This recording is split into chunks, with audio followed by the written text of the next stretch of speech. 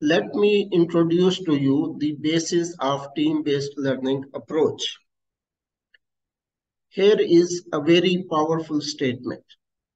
Classroom time needs to be used for solving problems and not just transmittal of information. This statement changes our concept of usage of classroom time.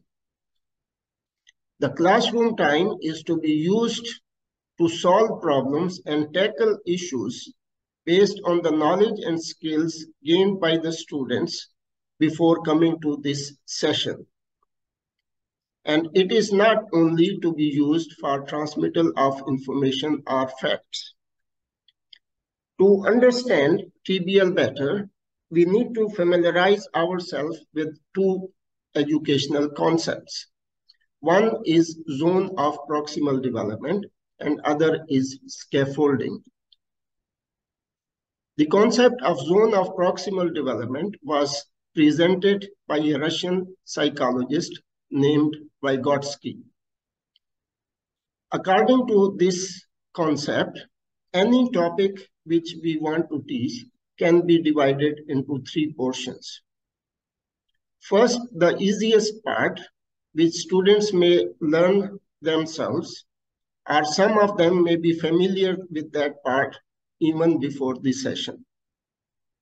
The second is a relatively difficult part, which is labeled as zone of proximal development. And this is where teachers need to help the students to understand that content better. And third portion may be beyond the reach of the students at that particular time and stage of training. So if we want to spend too much time on the first portion, that may be wastage of time and may appear very boring to the students. So as a teacher, we should be concentrating more on the portion under the label of zone of proximal development. And this is where the students really need teachers' help to understand that content better. Teachers may use technology and tools to help the students to understand this portion. The second concept is scaffolding. Scaffolding is a process in which teachers model or demonstrate how to solve a problem and then step back offering support as needed. This means that teachers demonstrate or explain to the students how to handle an issue or solve a problem, and then let the students proceed themselves. Teacher helps the students only when the help is needed. Otherwise, students would keep on trying to solve the problems themselves. The theory is that when students are given the support they need, while learning something new, they stand a better chance of using that knowledge independently. Scaffolding refers to a variety of instructional techniques used to move students progressively towards stronger understanding and ultimately greater independence in the learning process. This means that scaffolding helps us to produce independent learners and lifelong learners. So continuing with the introduction to team-based learning, it is an active learning and small group instructional strategy that provides students with opportunities to learn a concept and apply the newly learned conceptual knowledge to solve a problem or tackle an issue through a sequence of activities. And these activities may include individual work or group or team work, and also gives an opportunity to the lecturers to provide feedback to the students. This statement may appear as a complex uh, statement. Let us break it into smaller components to understand it. TBL is an active learning process. It is a small group instructional strategy. It provides students with opportunities to learn a new concept and soon after apply the newly learned conceptual knowledge to solve a problem or tackle an issue through a sequence of activities.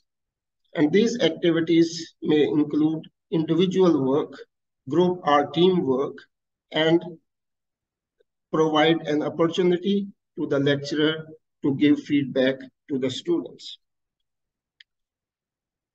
TBL is specifically characterized by three components.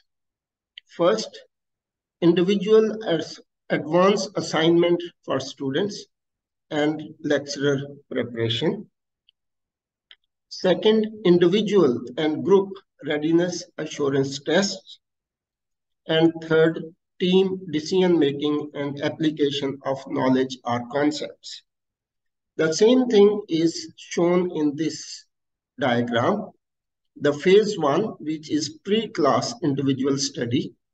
The phase two, which includes individual readiness assurance test, group readiness assurance test, team appeals, instructor feedback, and phase three, where students appear in the team application exercises. Here is a list of sequence of activities for a TBL session. Step one, advanced assignment for students and preparation of two sets of questions by the lecturer. The first set at the comprehension level and second set at the application and evaluation level following the Bloom's taxonomy. The second step, identification of small groups and group leaders. Third step, individual readiness assurance test using set one. Step four, group readiness assurance test using again the same set of questions. Step five, display of group readiness assurance test results. Step six, teacher clarification review on the group readiness assurance test results question by question. Then the team application test using the second set of questions, which is leveled at the application and evaluation according to Bloom's taxonomy. Step 8, display of team application test results. And step 9, discussion on team application test results and their answers one by one. A wrap-up session by the lecturer and then the debriefing uh, session with the students and then the appeals if students have any issues regarding the questions or, or the answers and discussion about that. The further details of uh, these steps would be produced are presented in the next uh, short video labeled as steps of uh, TBL session.